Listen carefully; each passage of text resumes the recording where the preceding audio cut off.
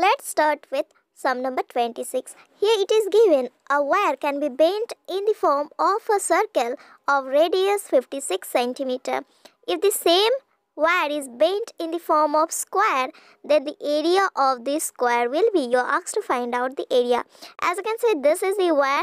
With this wire only, we are making the circle. That means the circumference of this particular circle will be same as the perimeter of this particular square as this square is also made up of the same wire. As we can see that here the radius is given to be 56 centimeter. Let us find out the circumference of this particular circle with the formula 2 pi r and let us equate it with the perimeter of this particular square that is 4a where a is the side.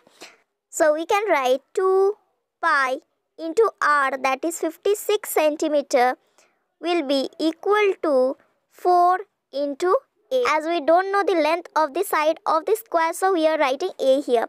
So let us solve we will get 2 into in place of pi we can write 22 by 7 into 56 equal to 4a. So 7 into 8 will be 56.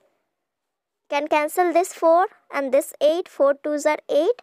So here you are getting a equals to 2 2s are 4, 4 2s are 8. 8 into 11 will get here 88 centimeter.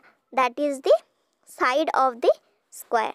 And we know area of the square will be side into side will be equal to 7744 centimeter square. Calculating 88 into 88, you can just multiply the last two digits. You'll get 8 8 is 64. That means in the unit place, you will get 4 and only one option is there.